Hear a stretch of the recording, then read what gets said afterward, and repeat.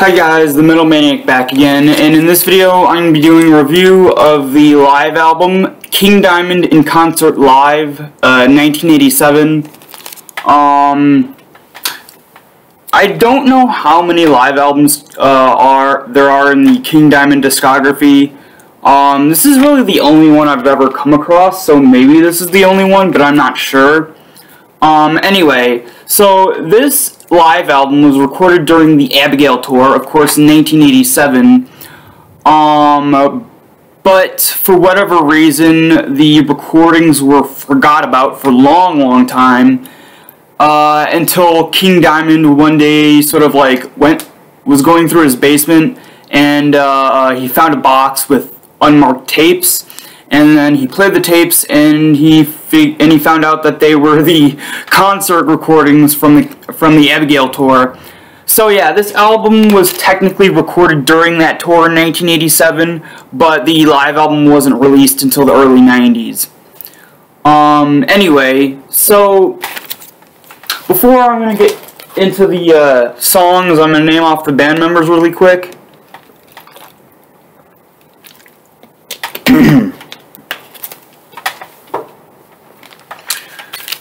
Um, of course, King Diamond on vocals, Timi Hansen on bass, Mikkey Dee on drums, Andy LaRocque on guitar, and uh, Michael Moon on guitar. Now, the only band member that is different on this lineup compared to the lineup on the Abigail album is uh, Michael Moon. Uh, if I remember correctly, the guitarist in the lineup uh, when they recorded the Abigail album was, I believe his name was uh, Michael Denner, I think. But uh, yeah, apparently he left before the tour started, so they had to get someone else in his place. Um, but uh, yeah. So the live album starts off, of course, with the intro funeral, which um, I don't know for sure, but it at least this particular track sounds like it's pre-recorded. Like it, it, it, sounds like they actually just played the audio recording from the Abigail album through the speakers. Um, because I don't know, it, this track is the only one that doesn't sound live. It, this is the only one that actually sounds like it's from the actual album, um, from the studio album. So yeah, I think this track is not actually quote unquote a live track, um, but the rest are. Anyway, so the actual first track is of course Arrival. Um, yeah, this is a really, really good song. Both studio and live, although I kind of prefer the studio version considering that this live version, for whatever reason, um, for whatever reason, the riffing is slightly different in the opening, you know, the opening riff to this song. Uh, the main lead riff is slightly different. Like, it's, it's a little bit more frantic and a little bit more um, wild. Not over the top or anything, but it is definitely noticeable. But I think that's just because Michael Moon is, you know, not, of course, the other guy. So I think if it kind of sounds like it's his guitar riff that's the lead on this live version of that song and the opening riff but it, I don't know maybe maybe it was intentional. Maybe it was just because you know a different guitarist so like different style I don't know. But the, I'm not I'm not complaining it, it, it's a great live version. Uh, I'm just I'm just saying that I noticed that the opening main riff was slightly different. Um but uh, yeah great live song um, the next song is called Come to the Sabbath, which is a live song from, I believe, the Don't Break the Oath album during the uh, Mercyful Fate days. Um, yeah, I've never been a fan of this song. In fact, most of the songs on Don't Break the Oath I don't actually like. Um, mainly just because just the, the style compared to the uh, King Diamond solo career is, is so different. Especially with the album Abigail going forward. That, I don't know, I just don't like the style, the uh, particular style from um, Mercyful Fate Um, for the most part, there are a few songs here and there that I do enjoy, but "Come to Come to the Sabbath" is not one of those songs I enjoy. Um, but yeah. So the next song is uh, "The Family Ghost." This is a great live version. Um, uh, King Diamond. Um, in this in this song, um, I've noticed that like his highs are almost 100% accurate to the studio recording. Um, which is interesting because a lot of the live versions of the songs on here, uh, his highs are are um a, I guess a little bit more like a higher octave, just maybe a few octaves higher than on the actual studio album of Abigail. Um, yeah, but but this song in particular, this live version of this song, his vocals are almost 100% the exact same, like very very accurate to the studio version. Um, but uh, yeah, Family Ghost, of course, great song, great live version. Um, the next one is a live version of the song The Seventh Day of July, 1777. Another great version live. Um, yeah. Oh, here we go. Here's an interesting one. Uh, the next live song is The Portrait, of course, from Fatal Portrait. Um, yeah, this is one of my favorite songs from uh, Fatal Portrait, of course. Um, yeah, really great live version. I, I don't think I've ever heard this particular or and pretty much any uh, Fatal Portrait song live before.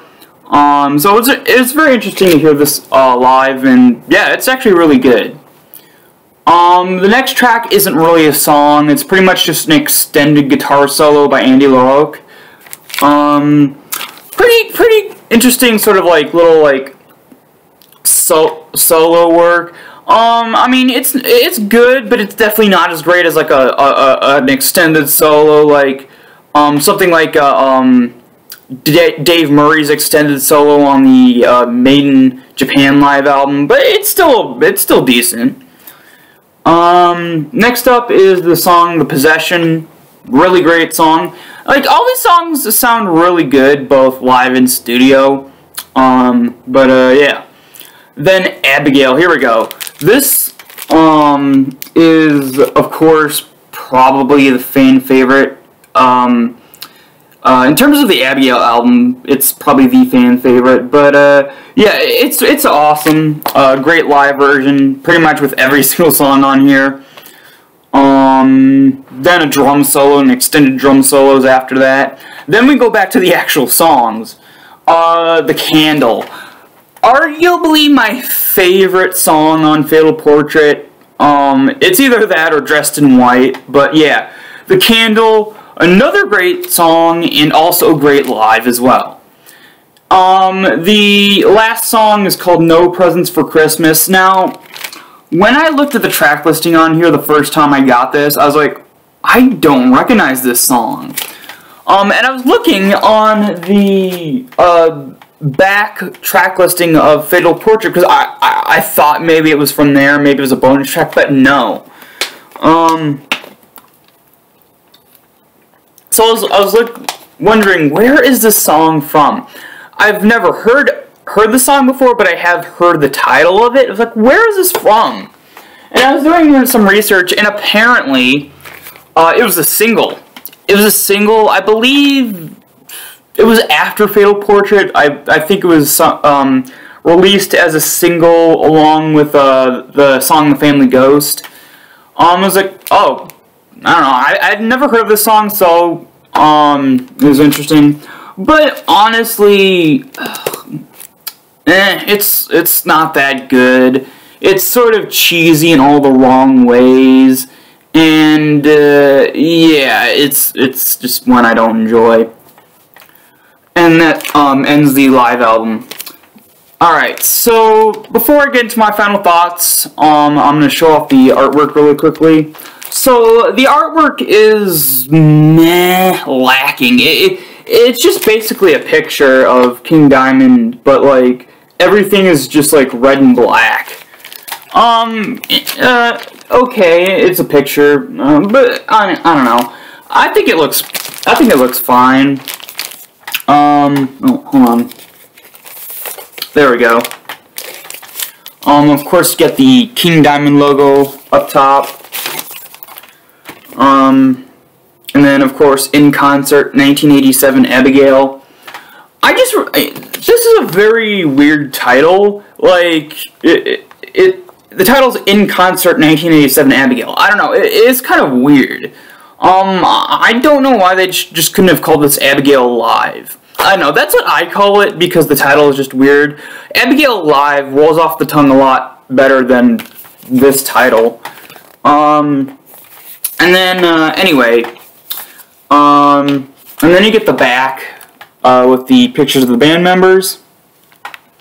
And, of course, the track listing. So, overall, um, a very good live album. Uh, it's definitely, like, compared to, I guess, all their studio recordings, it's definitely a, little, a lot more raw.